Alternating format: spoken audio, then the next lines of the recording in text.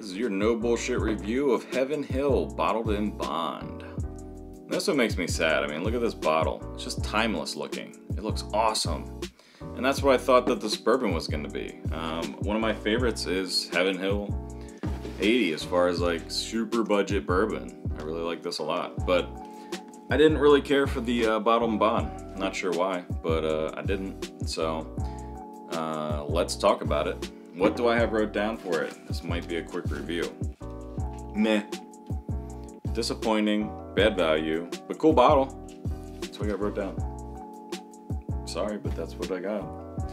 Um, I've also seen some other people say this isn't exactly like when they do blind taste tests or whatever, they don't really think it's that great of a, you know, bourbon or whatever as far as like for the price point. With the price point's 45 bucks. So 45 bucks, are you really getting an amazing bottle of bourbon. I don't think you are. You know, I think there's definitely some other ones out there you could purchase uh, for the price. So, with that said, let's talk about the numbers. So, what I have here is for sweetness 8.1. Again, it's 100 proof, so 100 proof and under, you're going to get pretty sweet. Smokiness 3.5, not really smoky at all, not really floral at all. I got a 1. Harshness 3.5. These are all going to be, honestly, these are all under 5. So this is just underperforming bourbon. Complexity 4.1, body 4.2. It's it's pretty thin feeling, and it doesn't really dance on your taste buds very long. Um, nor is there a lot of fairies dancing on your taste buds. There's not a lot of complexity. Uh, value, I got a 2.5, and that might be a little bit high in my opinion for 45 bucks. Um, it reminds me of Heaven Hill 80 a little bit, but just not as I expected.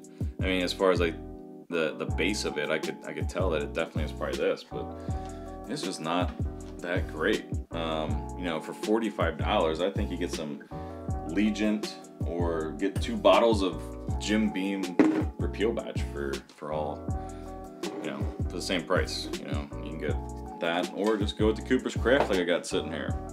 And you'll be really happy if you get that. As far as uh, you'll save 10 bucks and you'll probably enjoy it. So unfortunately, I have to say that this Heaven Hill Bottle and Bond wasn't really that great, which is unfortunate.